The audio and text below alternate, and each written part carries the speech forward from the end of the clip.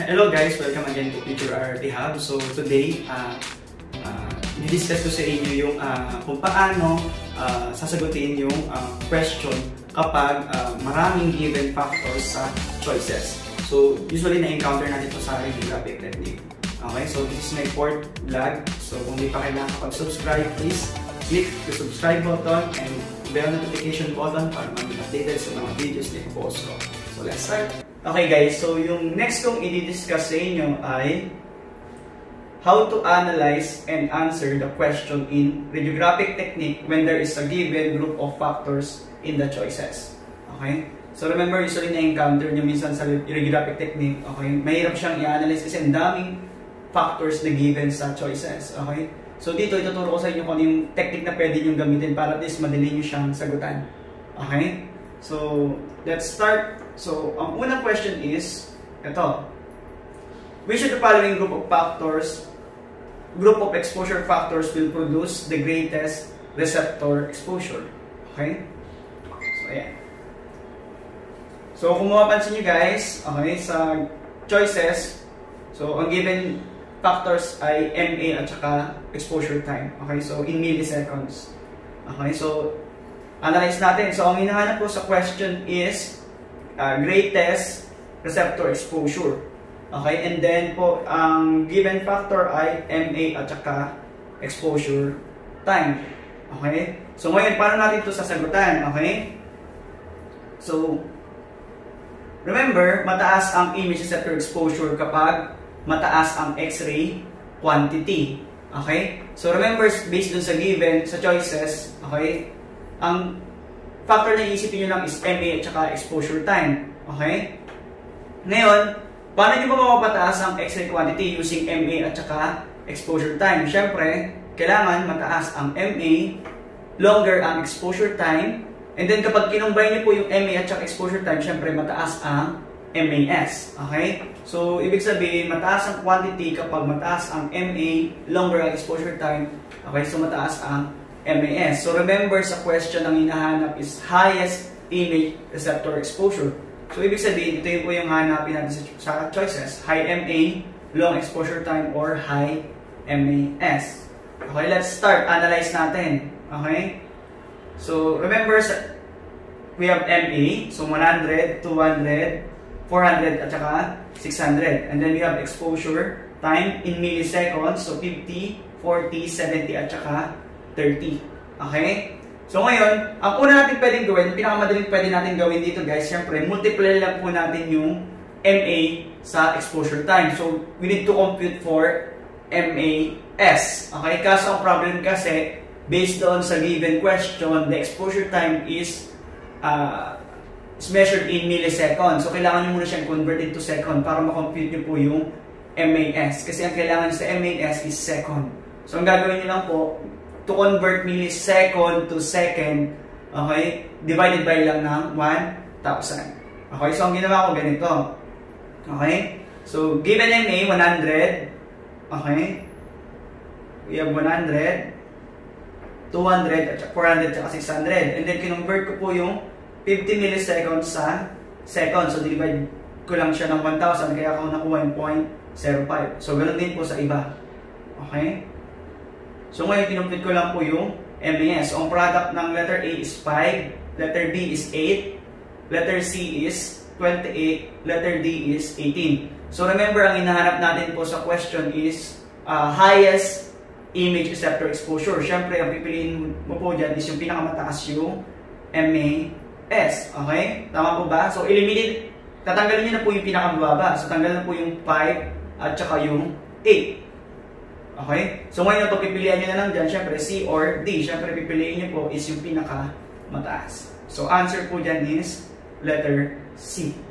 Okay? Pero guys, tandaan nyo po, uh, hindi, hindi ito talaga yung uh, gusto ko sa inyo i-share na technique sa pagsasagot po ng ganitong concept. Okay? Yung susunod na slide, ito po yung ituturo ko talaga sa inyo. Okay? So, ang ginawa ko dito, kinumpit ko lang yung MNS. So, na-determine na po yung uh, mataas ang image sector exposure based doon sa MAS value. Okay? So, I mean another way para at least uh, ma-analyze po natin yung uh, choices. Okay? para malaman po natin kung ano yung talaga yung hinahanap. Okay?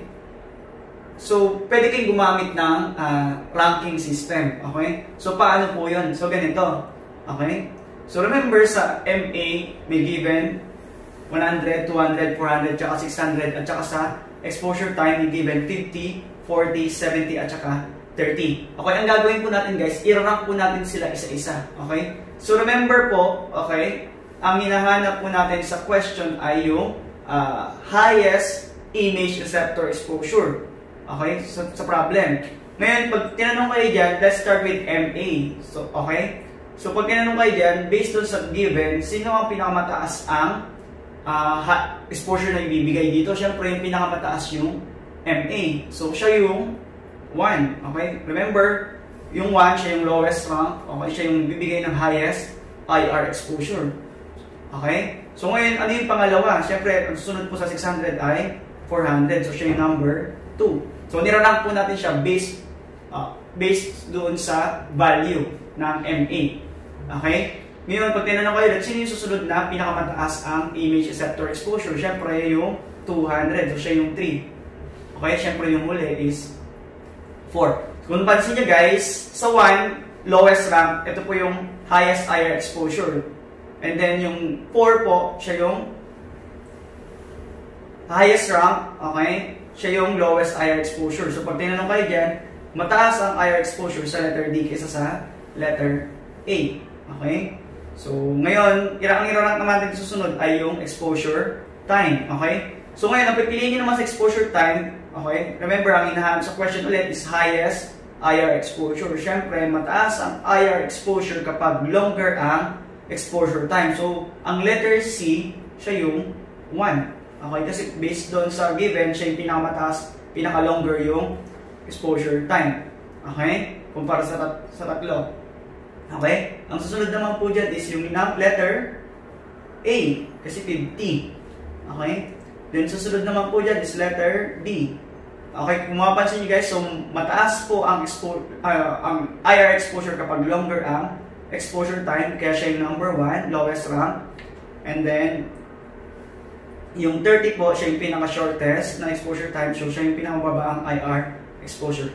Okay, kung ano mapansin nyo guys, so nila ko na si MA at saka si exposure time. So, anong gagawin nyo dyan para malaman nyo kung sino yung nagpro-provide ng pinakamataas na IR exposure. So, i-add nyo po yung ginawa nyo sa rank 1 at saka sa rank 2. So, i-add natin yan. So, pansinin nyo guys, rank 1 plus rank 2. So, ang ginawa natin, 4 plus 2 So, ito na po siya. And then, 3 plus 3. Ito na po siya. And then, 2 plus 1. Ito. And then, 1 plus 4. Okay, so ang total ay 6 sa letter A. Then, 6 din sa letter B.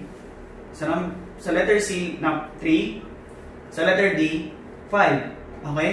So, remember, sa ranking natin, yung lowest, siya yung highest IR exposure. Then, highest, siya yung lowest IR exposure. So, ang gagawin dyan, i-eliminate na po yung pinakamataas. Okay? Kasi ang hinaharap po natin is yung uh, highest IR exposure. So, iiwan po natin yung lowest rank. So, eliminated na po yung A and B. So, ang pagpipilian nyo na lang po dyan is C or D. So, remember, syempre, kung highest IR exposure ang hanapin natin, syempre, pipiliin nyo po yung lowest rank. So, that's 3. So, the answer is letter, letter C. Okay?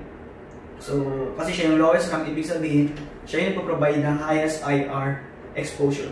Okay guys, kung mapapansin nyo guys, okay, kung mapapansin nyo po sa uh, problem kanina, okay, parehas po sila ng sagot sa una nating analyzation. Okay? So, letter C din po yung sagot. Okay? So, ayun po. So, the answer is letter C. Okay?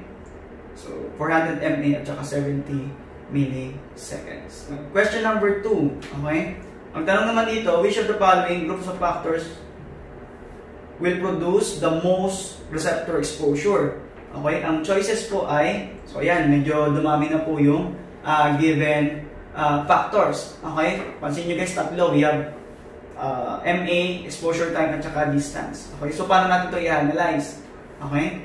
So, ang hinahanap po sa question ay most image receptor exposure. Ibig sabihin, sino naman daw po dito yung mataas ang magpaprovide ng mataas na image receptor exposure. Okay? So, ang given is MA, exposure time, at saka distance. Okay? So, let's start analyze natin. Okay? So, remember, mataas ang IR exposure kapag mataas yung X-ray quantity. Okay? Ngayon, based on sa choices, paano natin mapapataas yung X-ray quantity? Okay? Pag mataas yung MA, syempre. Okay? Pag longer ang exposure time at saka pag short ang SID. So, ito yung mga titignan po natin sa choices. Okay? Sila po yung magpo-provide ng mataas na image receptor exposure. Okay? Isa-isahin natin yan. Okay? So, i-rank natin. Okay? So, let's start with MA. Okay? Siya yung rank 1. Okay? So, magpo-provide ng mataas na air exposure, syempre, yung pinakamataas yung MA. Kaya, ang number 1 dito ay 400. Okay? So, pansinin nyo guys, parehas lang po yung A at saka D kasi parehas silang 400. So, kaya parehas silang 1. Okay? So, ibig sabihin, lowest rank naman yung provide ng high, highest IR exposure. Okay? Ngayon, syempre, kung, kung titingnan nyo po yung choices, ang next na given is 200, parehas. Okay? So, ang ilalagay nyo po dyan is, sila po yung rank number 2. Okay? So, wala kayong 3 or 4 kasi nga po, ang given factors lang ay dalawa. Okay? Dalawang 400 tsaka dalawang 200. So, nirank natin siya. So, 1 and 2. Okay, malamang, malamang okay, yung highest rank siya na naman po yung provide ng lowest IR exposure. Okay? So, tapos na natin guys sa MA. Ang irank naman natin is the exposure time. Okay? So, kung mapasin nyo guys, exposure time, we have 30, 50, at saka 60. So, pinaka longer yung 60. Ang pinaka shortest yung 30. Okay, syempre, magpo-provide ng mataas na X-ray quantity or IR exposure is 60. Okay, so siya yung 1. Okay?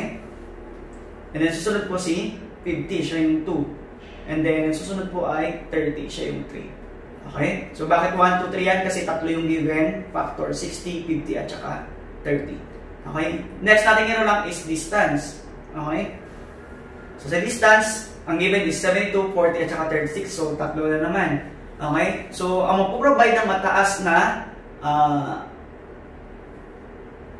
IR exposure, syempre, yung distance na malapit sa pasyente. Okay, that's 36 inch, inches. Okay? So, siya yung 1. Okay?